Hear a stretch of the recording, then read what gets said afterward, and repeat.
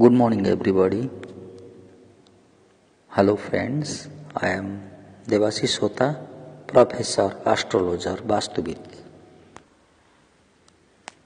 Today, my topic is benefits of peace.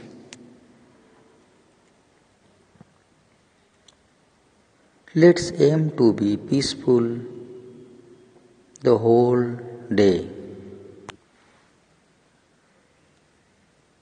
Being peaceful not only make us feel very comfortable but also help us to do the following things. To radiate good vibrations to the body, keeping it healthier.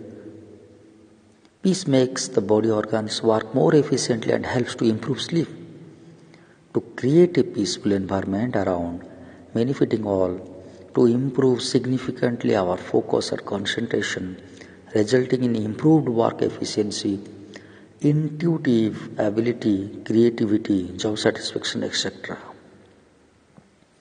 To provide greater space to understand, accept, and accommodate others, thereby improving relationships, to inspire others to work in a peaceful way, thereby creating a wave of transformation.